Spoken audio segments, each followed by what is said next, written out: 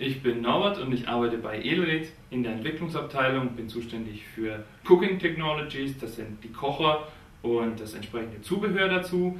Und heute möchte ich euch unseren neuen Hexon Multifuel Kocher vorstellen. Im Lieferumfang ist neben dem Kocher eine Brennstoffpumpe, die passende Brennstoffflasche mit 0,35 Litern, ein Faltwindschutz aus Aluminium, ein Transportbeutel für den Kocher sowie ein Werkzeugset und ein paar Ersatzteile.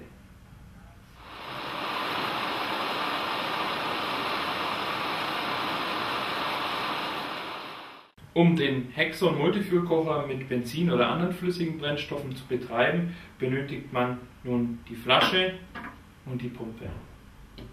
Zunächst wird die Brennstoffflasche mit dem entsprechenden Brennstoff gefüllt. Geschickt ist hier gereinigtes Benzin oder spezielles Kocherbenzin, um die Rußentwicklung und den Reinigungsaufwand zu minimalisieren. Beachtet werden muss auch die maximale Füllstandsmarkierung an der Flasche. Nun wird die Pumpe in die Flasche eingeschraubt.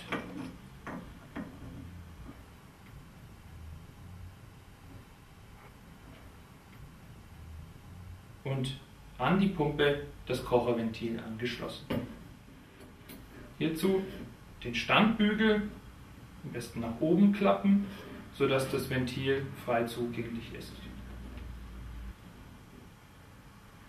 Hier wieder sicherstellen, dass das Kocherventil wirklich geschlossen ist und den Standbügel wieder in die waagrechte Position klappen. Nun kann in der Flasche der Betriebsdruck aufgebaut werden. Hierzu sind ungefähr 20 bis 30 Pumpenhü benötigt. Wenn der Druck aufgebaut ist, merkt man das an dem zunehmenden Widerstand beim Pumpen. Dann ist es ausreichend. Um den Kocher vorzuwärmen, öffnet man nun das Kocherventil. Am besten ist, man beobachtet gleichzeitig die Düse am Kocher und wenn man sieht, dass der Brennstoff hier ankommt und raus sprüht, wartet man ungefähr 2-3 Sekunden und schließt das Ventil dann wieder. Nun kann der Brennstoff, der sich am Kocher und an dem Vorheizpad, einem kleinen Keramikfließpad befindet, entzündet werden. Wenn sich die Vorheizflammen nach einer gewissen Zeit eben beruhigt haben und runterbrennen, kann der Kocher dann geöffnet werden. Das dauert ungefähr 30 bis 40 Sekunden.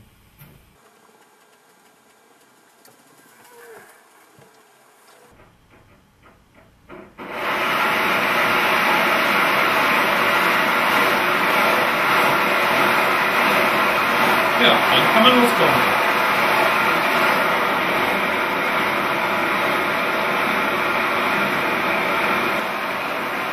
Zum Ausschalten des Kochers im Benzinbetrieb bzw. mit anderen flüssigen Brennstoffen wird zunächst einmal die Pumpe um 180 Grad gedreht. Hier zeigt dann der Standbügel und die Off-Markierung nach oben. Nach ungefähr 30 Sekunden ist die Kocherleitung dann belüftet und der Kocher geht von selber aus. Nun kann das Ventil geschlossen werden. Um die Flasche wieder vom Kocher zu trennen, ist es notwendig, die Flasche erstmal zu entlüften bzw. belüften, den Druck in der Flasche abzubauen. Hierzu vorsichtig die Pumpe abschrauben, dies am besten langsam und unterhalb von der Augenhöhe durchführen.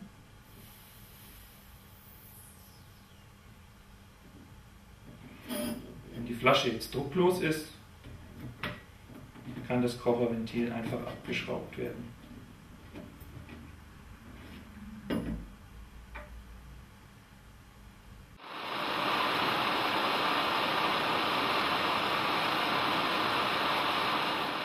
Im Betrieb mit Gaskartuschen ist der Hexon sehr unkompliziert und vor allem sauber. Hierzu braucht man Gaskartuschen mit Schraubgewinde. Diese werden einfach an das Ventil angeschlossen. Am besten noch vorher sicherstellen, dass das Ventil wirklich zu ist. Dann die Kartusche anschließen.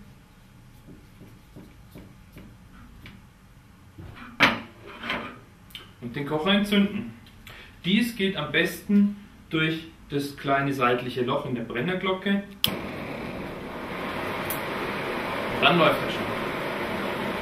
Die Regelung erfolgt mit dem Ventil.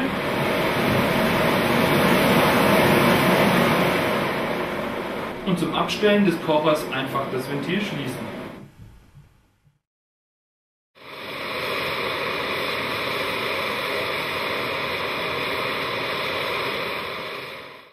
Als besonderes Feature lässt sich unser Hexon Multifuel Kocher auch in Stromkochersysteme einbauen. Man braucht dazu als Zubehör noch den Tradapter. Das ist einfach sind drei kleine Aluminiumteile, die man hier so auffaltet. Anschließend müssen von dem Kocher die Beine abgenommen werden. Hierzu dann die Oberseite rausziehen aus dem Loch und das Drahtbein nach unten aus dem unteren Loch entfernen. Der Kocherkorpus wird nun von unten in den unteren Windschutz des Sturmkochers eingeführt, passt durch das Loch durch und mit den Haken des Adapters wird der Kocher im Windschutz sauber fixiert. Die Haken hängen sich dann unten in die Luftzufuhrlöcher ein.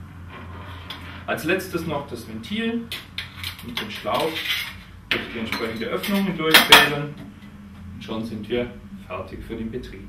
Anzünden wie gewohnt.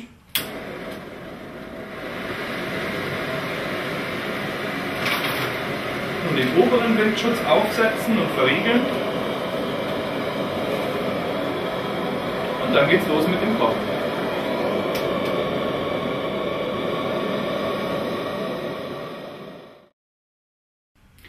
Um den Hexon Multifuel Kocher zu warten, lässt er sich komplett zerlegen.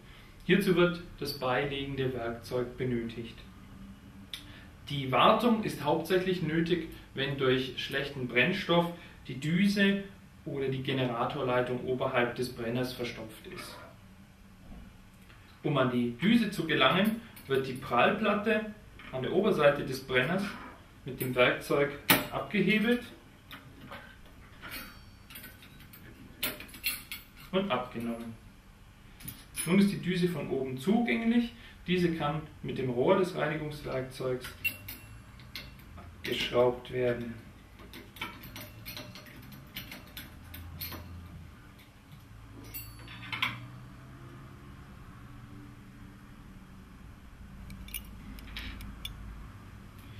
Um die Brennstoffleitung abzunehmen, wird die Verschraubung zunächst mit dem kleinen Gabelschlüssel am Ende des Werkzeugs gelöst und die Leitung dann von Hand abgeschraubt. Im Inneren des Generatorrohres befindet sich eine kleine Stahllitze. Mit dieser kann man das Rohr innen reinigen.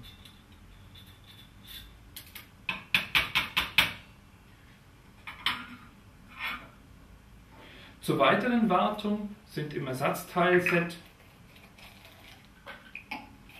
Dichtungsringe für das Pumpenventil enthalten, sowie ein Öl, um diese Ringe zu schmieren. Weiterhin gibt es eine Ersatzdüse und eine Ersatzdichtung für die Brennstoffpumpe. Dann hoffe ich, dass Ihnen unser kleiner Film einige interessante Details unseres neuen Multifuel-Kochers vermitteln konnte und wünsche Ihnen viele schöne Touren.